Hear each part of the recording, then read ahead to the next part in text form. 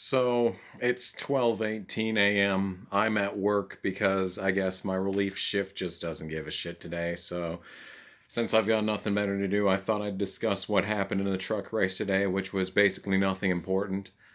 Um so once again, another completely and utterly meaningless win by King Leech himself, none other than King Leech, number 1 in no one's hearts. Number 1 in the stat book, number like 69 in everyone's hearts. It's um he just gets to pad his stats with yet another utterly meaningless nothing win. Has absolutely no reason to even be in the series at all. And yet I still see people on Twitter like, oh, but if he didn't run the races, then his team wouldn't exist. And it's like, good. His team shouldn't exist at this point. Because his team existing is the reason why the series itself is faltering. Did you notice how last week at Kansas, right? That was last week. I don't even remember. Was one of the best races all season in all three series. And isn't it strange that that took place in a race that Kyle Busch wasn't in? Did you notice that how tonight, I guess technically last night at this point, even though it currently is the night, you know the point I'm trying to make, that there were amazing moves at the start of the race, there was a three wide move in the first corner that led to, I think, the fifth place starter leading lap one. The lead changed hands at least twice. Three times if you count them being side by side at the start. In the first lap, as as you do. And then Busch got the lead, and then nothing happened. Then a caution came out and it jumbled up strategy, kinda. So that was a nice moment. But then after that, you know, the stage ended and then Busch got the lead and then nothing happened. And then the final stage occurred and then there was a weird caution that caused some of the field to pit and then some of the field didn't pit. And on one of those restarts there was uh there was like two double wide for the lead for like two laps straight and then Sauter made a three wide move on the outside to take the lead. That was pretty good. And then Busch got the lead and the race was over. I don't know how many times I have to make this video before just throwing the phone against the wall and then just pretending like nothing even happened. I mean, I really wouldn't even be making this video right now if I didn't have anything better to do, you know. Unfortunately, I don't. Unfortunately, I only have the company of this toilet paper. That's all I've got. That's all I've got. All I got is the company of this toilet paper. So, which um, actually, this toilet paper will clean up less shit in its lifetime than if they tried to wipe the track after that race because it just left nothing but shit all over the track because you know the racing's fantastic in the truck series when Busch isn't there and that and there's no coincidence.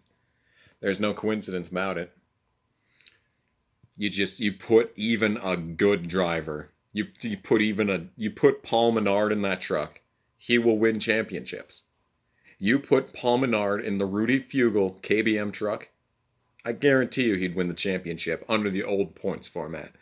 Nothing's a guarantee with this shitty, stupid ass winner take all, four for all, fatal four way. That's what they should call it. They should get WWE and to license their stupid championship race because it's dumb it makes about as much sense as crowning a champion between six random guys that you throw in a cage.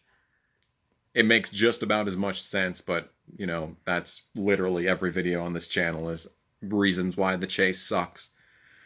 So, I won't try and drag this down video this video down too much with just that. The, the point that I'm trying to make is that there's no reason for Busch to run these races. Absolutely none. And I get into Twitter arguments about this all the time is that, well, well, the tree wouldn't exist if it wasn't for his money that he brings as a leech. And you want to know why? You want to know why that is? Because all he did was leech the, his entire career. And now, if you're a small name driver, you ain't going to get sponsors. Why would a sponsor pick up a random bitch that has never seen the light of day when they could just have Kyle Busch and have a guaranteed win? Why would they go with the younger driver?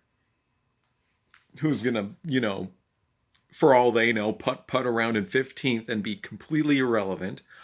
Or do they pick the guy that's almost guaranteed to win the race?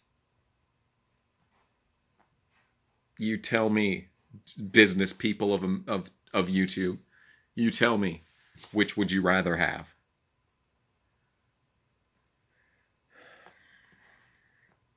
And then and then you get people who say that like the, I don't know. I don't. I, I. I would. I would look it up specifically. I would read this verbatim to you because it's just that stupid. But unfortunately, I'm using the phone to record the video right now, so I can't really do that, can I? But someone tweeted me and said that I was like saying that I was having a conversation with some guy, and he's like, you know, like Kyle's doing a poor job of develop, developing talent, um, because they run 10th well he wins every week because he gets the best crew chief in the garage for every race like i've been saying since the start of the season. And then that guy was like yeah he's not doing a very good job of developing his talent then. And then someone responds to both of us saying oh it's his name in it's something to do with like the name's kyle busch motorsports and it's like it's not his job to develop talent. Look at the name of the team. And it's like, there it is, isn't it?